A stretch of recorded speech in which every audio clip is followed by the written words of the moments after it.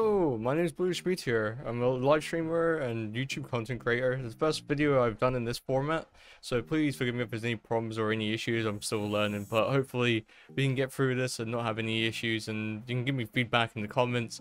Uh, really appreciate it, and I'll try and my best to improve and just work and get used to this. So um, we're going to review the Pixoo 64 that's behind me. It's by Divoom.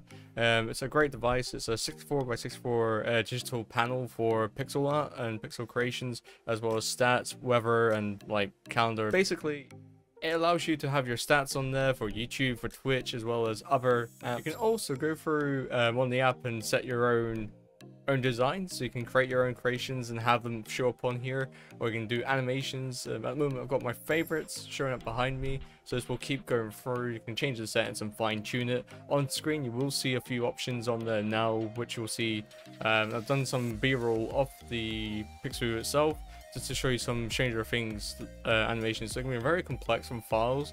I don't know the full ins and outs of it, but I just like to show it off and just say this thing is really cool. Um, there's a few things I would like to cover. So like going through the app itself is quite like it's it's quite hard at first. If it's quite complicated, you try and go through and it's not too clear of what happens. I kind of learned by just navigating around and tapping certain um, icons and then getting through, uh, basically just going through and navigating those areas and just kind of seeing what would happen and how the screen would react to my input. Um, but after about 20 minutes I got used to it and now it's it seems to be really really good. So you can set your own your own apps you can also have your own Twitch viewer account you can have your total views um, and it just cycles around and it gives you the time and it has your name on it uh, I think it's really cool how they've done that and also there's other um, applications as well such as like I believe there's a TikTok one Twitter there's uh, also like Bitcoin, I believe. If you see behind me now, it's got an animation of uh, Minecraft of a block being broken and there's a creeper behind it. You can have all sorts of different designs. A lot of people keep adding to them each month and they have like a showcase of the most popular or most hot um, designs that people have got on, on there. Um, it's it's good to see what people can do and create and also import some of the like video files. I think it's like a Halo one and also like Stranger Things. So it's good to see what you can have with the app. Um, but mostly I use it just for my Twitch stats or having like a time. Um, if I'm not, say if I have a few days where I'm not streaming at all, just switch it over to like a clock or like a calendar to see see what's happening, or even you can set reminders or like little notes on the.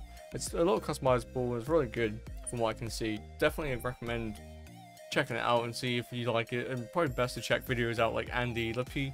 Uh, I want to give a massive shout out to Andilippi. Thank you for all, all that you do, but also it's just it's just nice to see these kind of products and be able to see a full show showcase of them and then experience it for myself and know that like it is going to be a good product from from what I can see.